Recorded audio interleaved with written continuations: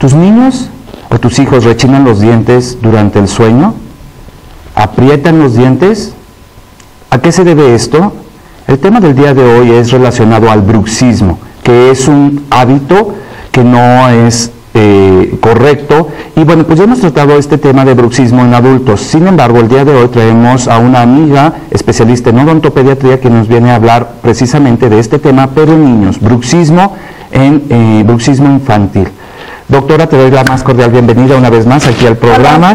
La doctora Claudia Patricia Peña Raigosa, quien ha estado aquí en repetidas ocasiones y bueno, es un placer tenerte aquí. Ay, muchas gracias por invitarme y es un tema que me gusta mucho y la verdad que es muy importante compartirlo con toda tu audiencia. Entonces, muchas gracias. No, y luego la frecuencia es, puede llegar a ser preocupante y los papás de los niños a veces creen que es normal y hay muchas eh, creencias que son falsas, por cierto. Y bueno, pues vamos a ir viendo poco a poco a qué se debe esto del bruxismo en los niños, ¿verdad? Sí, como dices, hay muchos mitos alrededor de, de este hábito en realidad no es un, un, sí, como un trastorno como tal, no es una enfermedad que sea de los dientes, sino que más bien hay que buscar la raíz, qué es lo que está ocasionando que el niño rechine o apriete los dientes.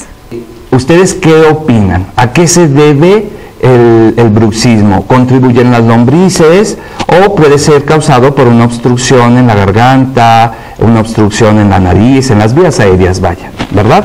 Entonces quédense comenten y bueno, pues eh, al, final vamos a disipar estas dudas. Es un tema de verdad muy frecuente en el consultorio, en donde llegan los pacientes porque presentan dolor de cabeza, dolor al, abrir o al masticar, a lo mejor también algún problema de, sonidos, como que escuchan el, así.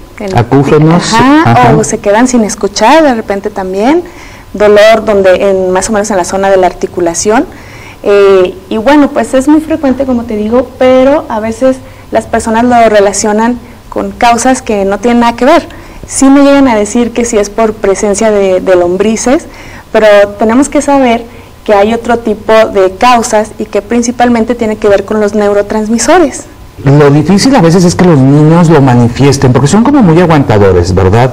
Y es tan común, por ejemplo, yo, yo, yo creo que en determinado momento, cuando llegamos a una edad adulta, fíjate, el 80% de las personas llegamos a tener o a padecer en determinado momento este, este problema, que es una parafunción. Es una parafunción que está relacionada con la masticación y con la deglución, o sea, al momento de que tragamos, pero se hace la mayor parte del tiempo de manera inconsciente, es decir, cuando estamos durmiendo.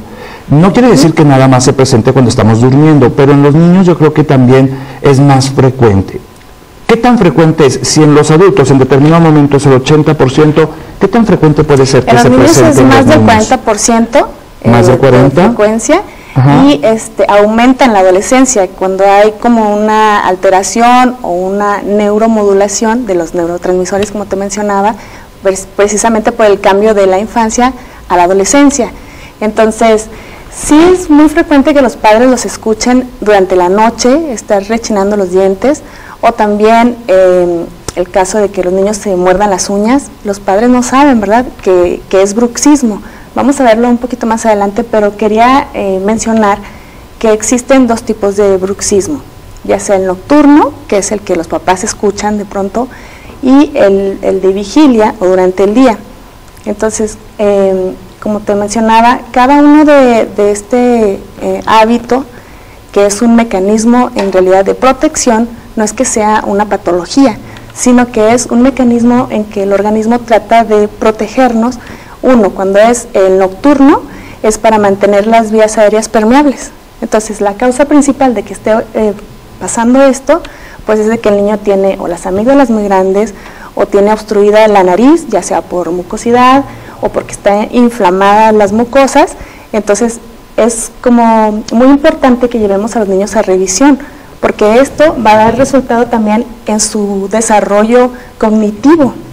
Sí, porque además no están jalando, digámoslo así, el aire, el oxígeno que es necesario, bueno, pues para, para nutrir eh, todo el organismo. Así es, entonces por eso el niño rechina los dientes para mantenerlo en un estado, digamos, como de alerta, en donde no cae en un sueño muy profundo. El bruxismo pues, es una actividad inconsciente, como tú decías, eh, y son movimientos repetitivos en donde puede ser que rechines los dientes o estés como apretando durante el día.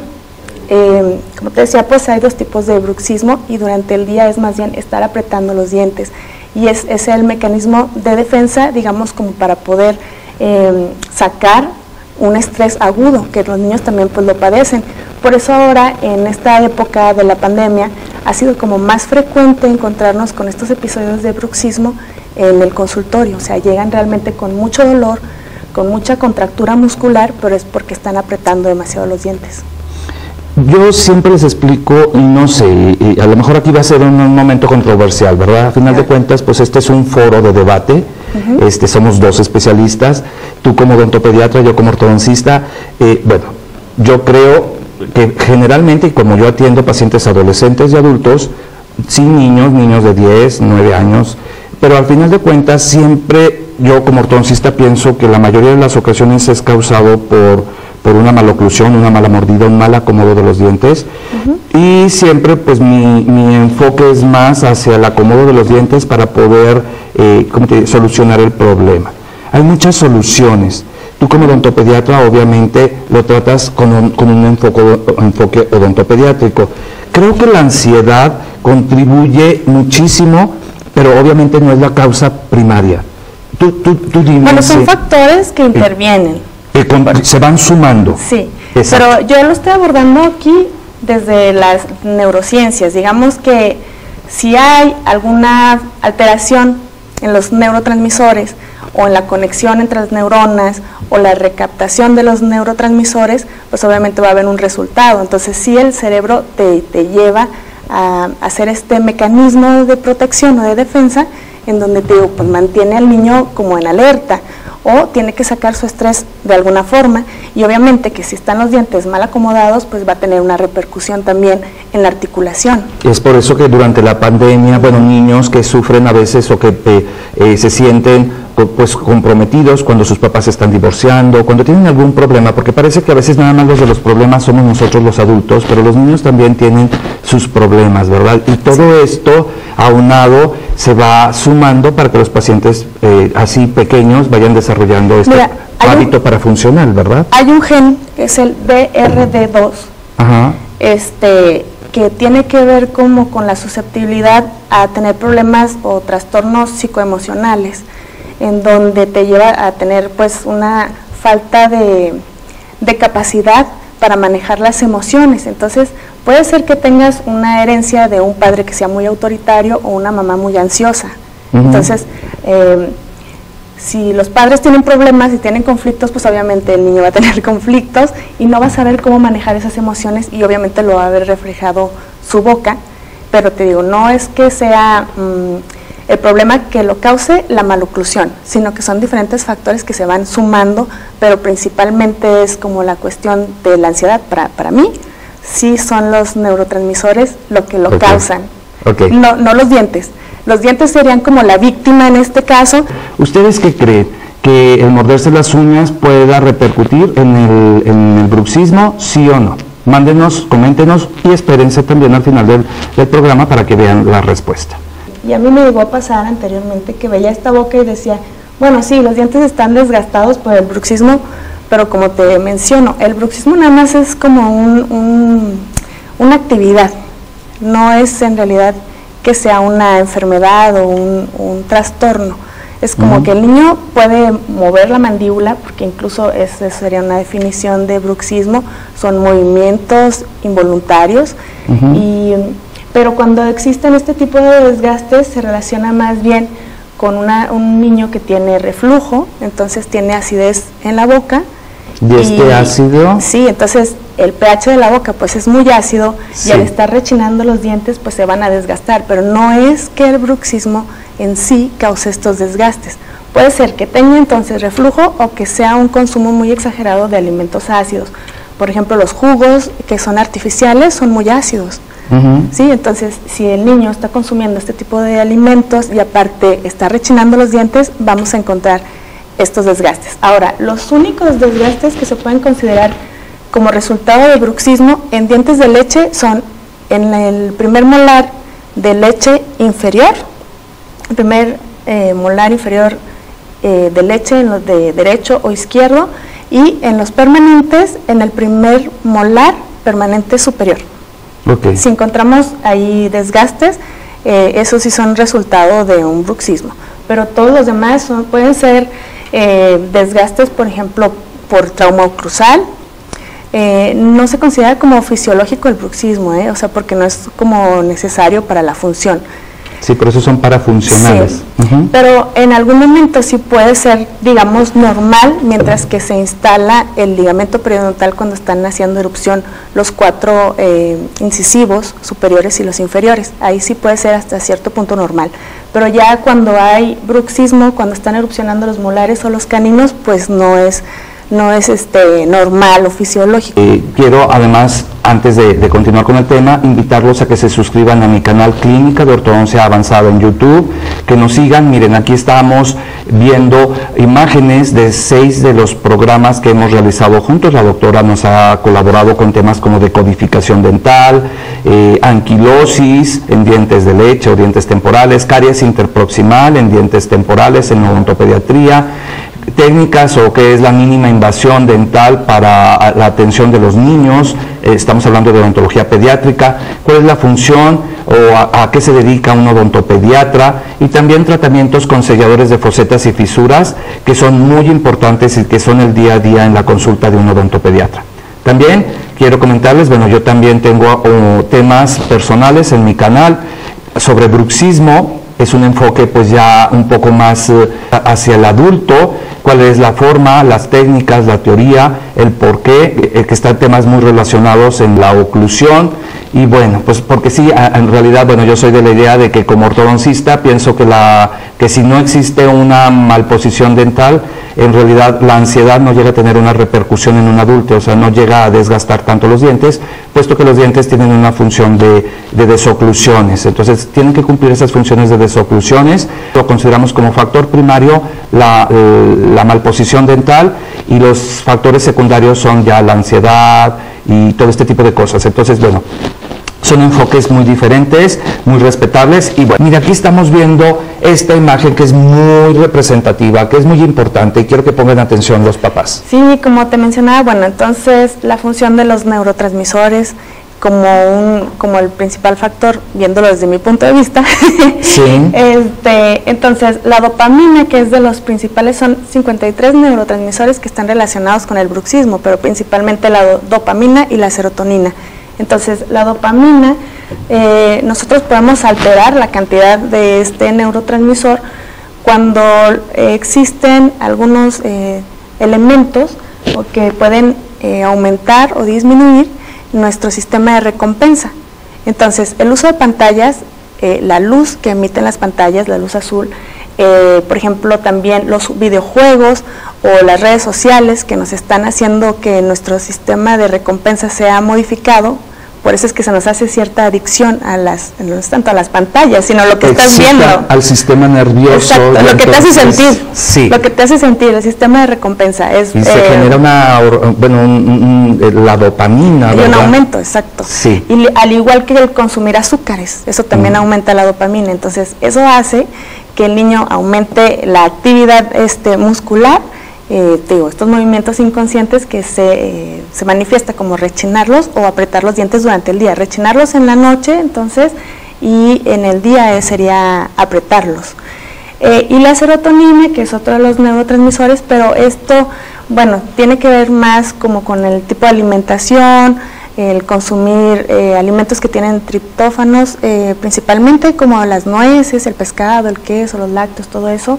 Entonces, si hay una disminución en cuanto a este tipo de alimentos, pues también se va a ver afectado la serotonina. Eh, de igual forma, pues el sueño. Los ciclos de sueño son súper importantes y no tenemos ahora la educación o, no les tenemos a los niños tan marcados la disciplina del, dormir desde temprano, aprovechar las primeras horas de la noche que son en donde descansa más el, cuerpo, el, cerebro, que incluso también eso es lo que causa la luz azul de las pantallas, que te estimula tanto que el cerebro no, no descansa. Entonces, bueno, les los lleva a un igual, es como un círculo vicioso en donde se va a manifestar con ese tipo de movimientos involuntarios de estar eh, proyectando la mandíbula y apretando o rechinando. Por eso es que el, la unicofagia, que es el morderse las uñas, sí es un tipo de bruxismo de vigilia, porque si proyectar la mandíbula hacia el frente es bruxismo, el estar haciendo esto también entonces se considera como bruxismo.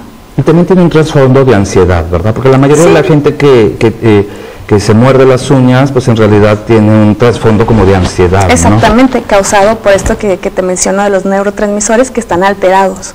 Entonces, por eso es importante el descanso de los niños eh, y como les mencionaba, si no lo hacen por los dientes o, alguna otra situación, pues sí por el, desarrollo cognitivo, el aprendizaje, porque durante el sueño, en esta fase en donde es el sueño REM, que es donde nosotros vamos a, captar o a guardar pues los conocimientos que hayamos tenido durante el día. Movement, movimiento rápido ocular. Sí.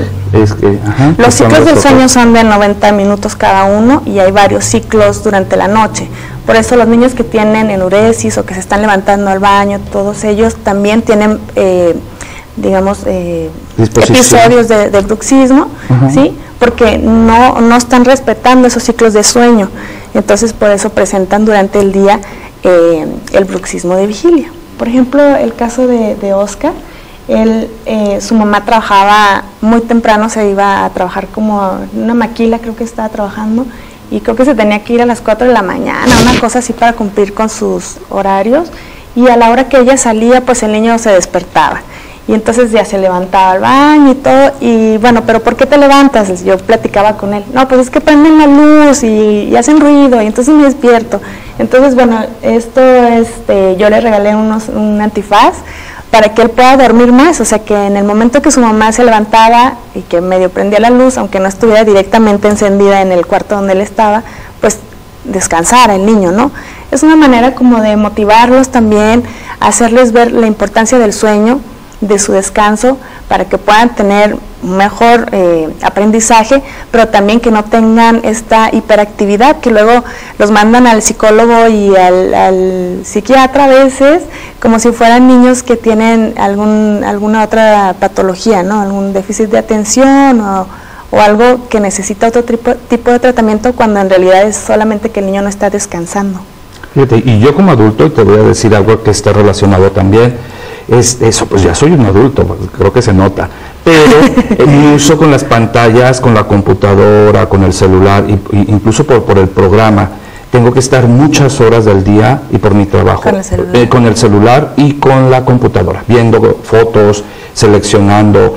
Y bueno, pues al final de cuentas tuve que eh, unos lentes especiales que tuvieran el filtro. Y los celulares, las pantallas también tienen algún tipo de protección. Yo creo que también hay que restringir el uso, el tiempo de uso dependiendo de la edad a los niños, porque no es muy bueno que a veces estén 5, 6, 7 horas de, porque, se, porque sí, nosotros exacerban. sí. De hecho, eh, en donde vienen todas las enfermedades eh, psicológicas, creo que se llama DSM5, o creo, que ya estábamos en el 6, pero ahí mencionan el, tiempo de uso de pantallas, o sea, un niño menor de 2 años no lo puede usar. Y luego, hasta mayores de 6 años, creo que son media hora, 45 minutos. Y no pasa de 2 horas, así conforme va aumentando la edad. Y utilizar pantallas más de 3 horas, o sea, imagínate los que están con los videojuegos o chateando todo el tiempo, así, más de 3 horas ya se considera como una enfermedad un padecimiento psiquiátrico. Así es. Oye, hasta tomarse selfies. Creo que estaba viendo que tomarse más de seis selfies al día. Yo por eso no me tomo ninguna, ¿eh? Yo nunca subo selfies a mis redes. Pero eso yo creo que tiene que ver con, con esto del sistema de recompensa. Mira, acostumbrar a los niños incluso a cómo van a estar viendo las pantallas, porque esta posición, la que vemos a la niña en la, en la parte de abajo, en donde ella está acostada, y con una almohada en la parte de atrás de la cabeza, tiene la columna pues en una posición que no le ayuda a ni siquiera a estar respirando bien, pero eso le va a llevar a que durante el día pues tenga una posición incorrecta de su cuerpo. Entonces también eso nos va a llevar a que la niña pueda tener alguna mala oclusión eh, que a lo mejor presente una clase 2, bueno, ya hemos hablado de eso y bueno, tú ya lo tienes súper hablado, lo de las maloclusiones. Entonces, sí es importante acostumbrar a los niños el, tipo de, más bien la calidad de, la postura cuando esté utilizando las pantallas, ya sea celular o una tablet o incluso la, la, televisión, aunque esté lejos, ¿no? Pero la posición en la que estamos colocados es muy importante para ayudar a los niños que no tengan malos hábitos posturales que después se vean manifestados en alguna otra eh, patología o maloclusiones. Que nuestros niños aprovechen las primeras horas de la noche para dormir. Yo siempre les hago eh, como la eh, remembranza, así de, no sé si se diga así, de cuando la naturaleza empieza ya como a oscurecer, como todos los animalitos y las flores, todos empiezan ya a resguardar o empiezan a cerrarse las flores y es momento ya de descansar y aprovechar las primeras horas de la noche. Eh, es muy importante para que los niños tengan esa recarga de energía y tengan el aprovechamiento de las actividades que se hicieron durante el día y entonces tengan una mejor calidad de vida. Fíjate que yo con respecto a esto, por ejemplo, si yo duermo ocho horas al día, no es lo mismo si yo las duermo, por decir algo, de 10 de la noche a, ¿qué te diré?, a 6 de la mañana, a que si las duermo de 10, 12 del, a, de, la medianoche, de 12 a 8, porque se supone que descansa uno más este, las primeras horas. Sí, pero este, te digo, respetando siempre los ciclos que llamamos ciclos circadianos, ¿verdad? Son los ciclos del día. Entonces, por eso respetar las, las primeras horas de la noche para que cuando empieza a amanecer, pues obviamente es cuando ya también el cuerpo, ya es cuando se debe levantar. Hay que despertar. Sí. sí esto es con respecto a la onicofagia, ¿verdad? Sí, lo que les mencionaba, entonces sí está relacionado con la ansiedad, pero ¿qué es lo que hay detrás de este padecimiento? Sí es la ansiedad, pero ¿qué lo está causando? Entonces, ¿qué está alterando? Eh, el cerebro de, los niños y yo les recomiendo entonces que acudan a una valoración se me hace muy bueno el tema que has traído el día de hoy y sí queremos invitarlos, la doctora Patti Peña y yo, a que cuando tengan un problema como estos, pues acudan con un especialista en odontopediatría que muy seguramente van a saber darles consejo. No siempre los pacientes usan guarda eh, miofuncional de relajación o guarda oclusal. O, eh, los niños es diferente el tratamiento que reciben con respecto al bruxismo. Entonces acudan con un especialista. Y bueno, también suscríbanse a mi canal Clínica de Ortodoncia Avanzada. Los espero aquí en un programa más. Hasta la próxima.